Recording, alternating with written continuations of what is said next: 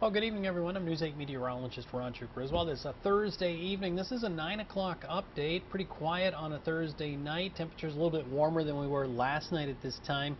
So overall, not expecting as chilly as a night, but still under mainly clear skies. Temperatures are falling off pretty quiet weather pattern here. You know, we welcome the season of summer at four minutes after one early Friday morning. So tomorrow, the first full day of summer. And in the big picture, the pattern is beginning to look more like a summer pattern. Out there right now, just a few wispy clouds coming through. We saw those during the afternoon, but much of the area now mainly clear. And we'll widen out the picture here and a couple of things you notice. Uh, first off, you can pick up the cooler air, which is sort of uh, dropped in from the Great Lakes into the northeast. This all associated with an area of high pressure that came from the north over the past couple of days.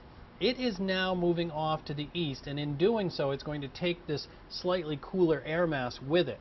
Where does that leave us? Well, now we need to look off to the south and west, and all this air is going to start coming in on the backside of that high. Note the temperatures down here. Memphis at 88 degrees, Kansas City at 84.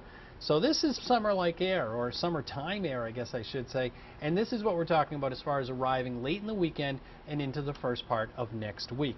Between now and then, it's a fairly quiet weather pattern. 53 for a low tonight in Portland, Lewiston, Auburn down to about 50. Augusta will drop down to 53. And there will be some 40s, primarily Fryeburg, North Conway, up into the Bethel area, Rangeley, perhaps even into the low or mid 40s. Now high temperatures tomorrow, 83 in Fryeburg. There'll be a blend of sunshine and clouds, maybe not quite as uh, sunny as it was today, but still a good looking day. Sea breezes, a southwest wind, that keeps the mid-coast a little bit cooler. Rockland at 74, Boothbay at 77, but Fryeburg is into the lower 80s, and that's just the beginning of this warm-up. As far as temperatures go for the next seven days, this is the trend. You can see we're pretty stable here Friday, Saturday, Sunday. This is a coastal temperature, so you got the sea breeze in, uh, included in it.